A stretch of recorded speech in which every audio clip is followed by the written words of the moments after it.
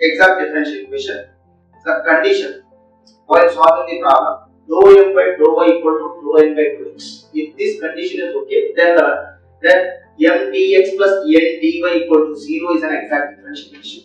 Suppose dou m by dou y not equal to dou n by dou x. Now observe this one. While solving the problem, the equation already it is in the form of m dx plus n dy equal to 0. But while checking the condition dou m by dou y not equal to dou n by dou x, then that is not an exact differential equation. If it is not an exact differential equation, what I will do? You you have to convert that non-exact differential equation into exact differential equation by multiplying with suitable factor to the given equation on both sides. Once again, means equations reducible into exact equations, exact differential equations, non-exact differential equations reducible into the exact differential equation. Means dou m by dou y not equal to dou m by dou x, then m dx plus n dy equal to 0 is not an exact differential equation. Then we have to use one integrating factor. How, how should I consider that uh, integrating factor? Now the topic is equations reducible into exact. Suppose m dx plus n dy equal to 0 is not an exact differential equation, then it can be made exact by multiplying with the suitable function u of x comma y not equal to 0 and u of x comma y is called an integrating factor. Means what I will do, have to multiply with u of x comma y to the given differential equation. This is the suitable factor. To make non-exact to exact. Means we are converting non-exact differential equation to exact differential equation. Now this is nothing but this u of x comma y is called integrating factor. Then integrating factors are different types. Now how to calculate the integrating factors? We have five methods. We have five methods to calculation of integrating factor. The first one, integrating factor, method one. Suppose anyhow m dx plus n equal to 0 is not an exact differential equation. If it is not an exact differential equation, then we go for the integrating factors. 1 by mx plus ny is an integrating factor where mx plus ny is not equal to 0. This is nothing but first integrating factor. Then should I apply this? Means suppose m dx plus n dy equal to 0, it is in the form of homogeneous differential equation. Suppose that is homogeneous differential equation, then we can apply uh, this integrating factor. The integrating factor is 1 by mx plus ny and mx plus ny is not equal to 0, the denominator. Now, homogeneous differential equation means already we have solved homogeneous differential equation in intermediate, but once again dy by dx equal to f of x comma y. This f of x comma y is an homogeneous function. Then that is dy by dx equal to f of x comma y is an homogeneous differential equation. Then what is that? How should I say this f of x comma y is an homogeneous function? F of kx comma ky equals to f of x comma y. Then f of x comma y is homogeneous function. Now, like this, we will consider, we will calculate the first integrating factor. integrate method to integrating factor if the given differential equation em dx plus en dy equal to 0 is not an exact differential equation. We need to calculate integrating factor. If that differential equation in the form of y into f of x comma y dx plus x into g of x comma y dy equal to 0 then 1 by mx minus ny is an integrating factor where mx minus ny is not equal to 0 once again how to calculate the integrating factor? By using method 2 means we can apply, we can go directly for method 2 integrating factor.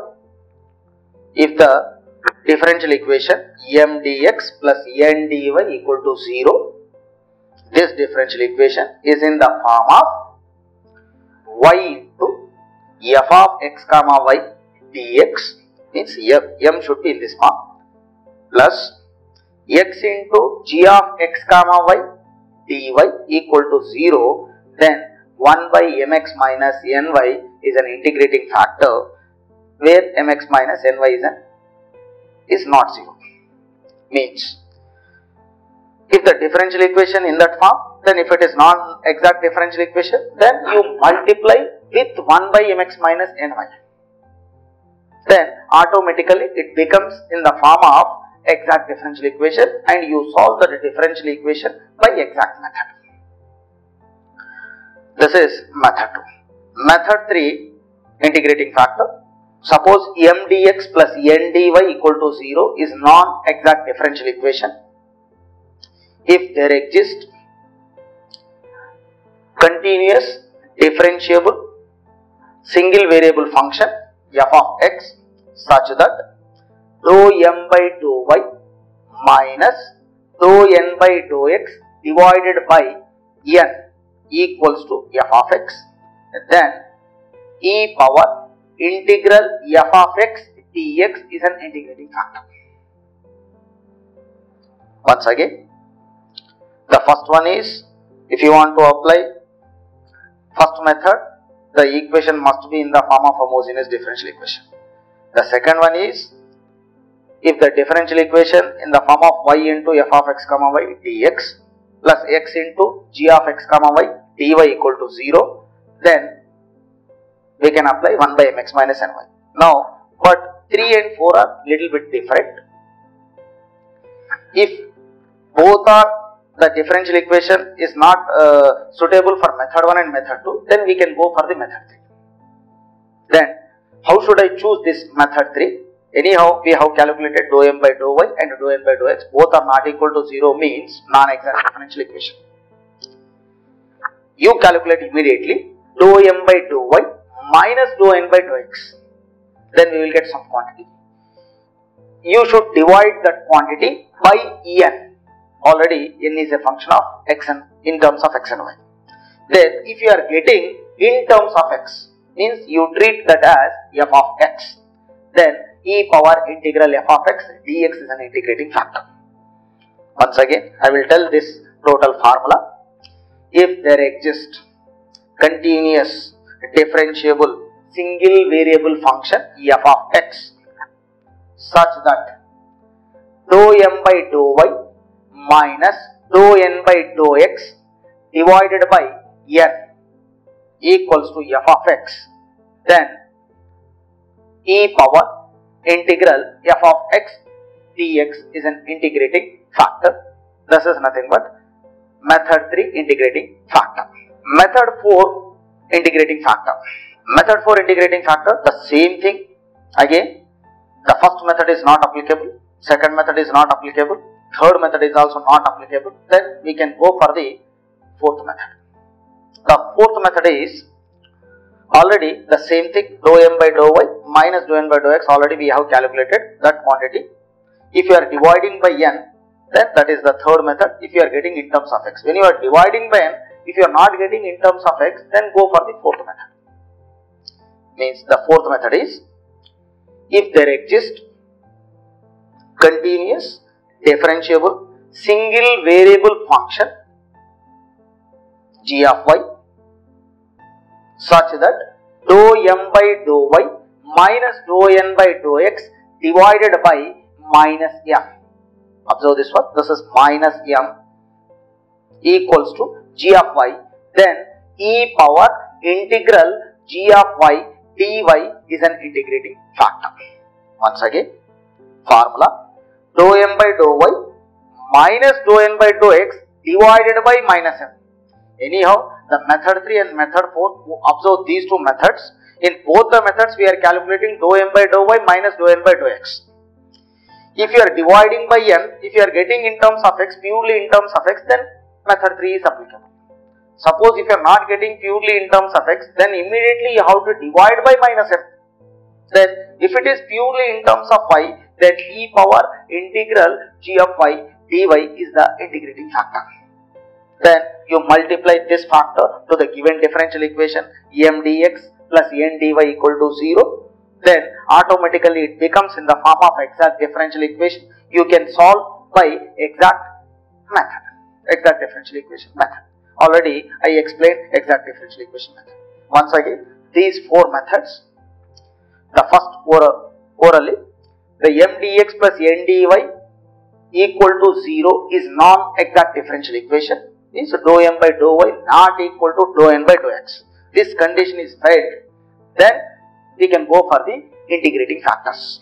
For calculating integrating factors, we have just now we have observed four methods. These four methods are important.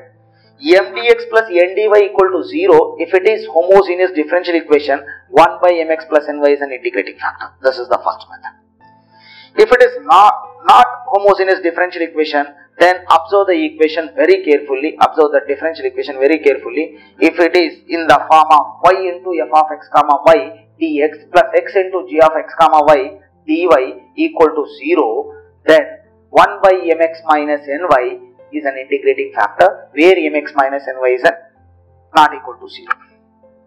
Third one. Third and fourth are both are same. Dou m by dou y minus dou n by dou x if you are dividing by n, n is a function of x and y. If you are getting in terms of purely in terms of x then the you treat that x, uh, function f of x e power integral f of x dx is an integrating factor. Another one so suppose if you are not getting in terms of x, dou m by dou y minus dou n by dou x divided by minus m if it is purely in terms of y then e power integral g of y dy is an integrating factor. This is nothing but like this we can calculate four integrating factors. Now one more method is there that is inspection method.